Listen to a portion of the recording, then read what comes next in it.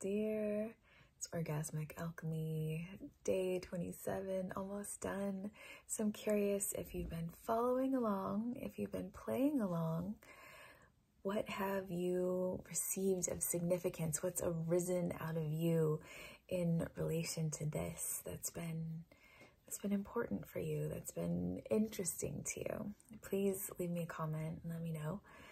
Um, for me, feeling myself at the end of this portal, um, I'm really grateful for the clarity that is coming through, for feeling myself, uh, having a greater understanding of my path and my purpose.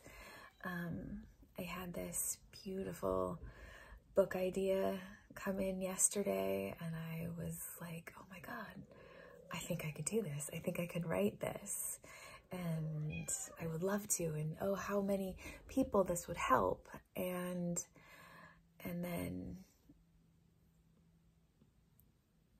also being like can I write a book that isn't poetry?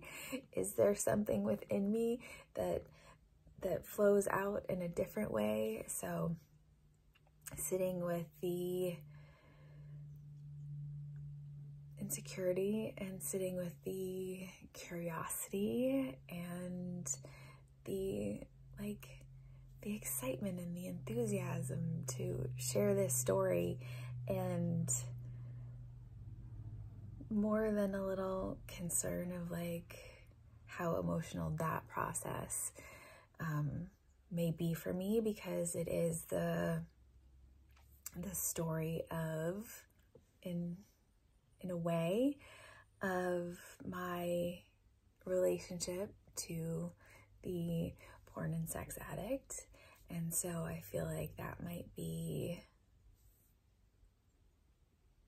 a somewhat uncomfortable space to go back to.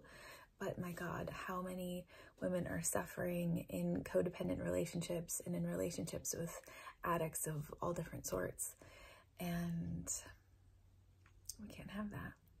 So I I hope that this you know starts to drip and trickle and flow out of me with as much grace and ease as possible, maybe even fun, um, so that it may serve the people that it's meant to. And I feel like that's all. I'm feeling really like itchy from the allergies and sort of low and slow. I haven't had caffeine in over a week. Um, so I'm a whole different person. Um, I feel like, you know, perhaps this diet dramatic diet change is still, you know, there's a lot of healing and clearing and shifting physically happening and so I'm going to honor my body and just take it easy. I was feeling like I don't want to do this video. I feel grouchy. I feel like I just want to lay down and and I had a train go by and I'm like, well, I'll just sit here and smile at myself until a train goes by.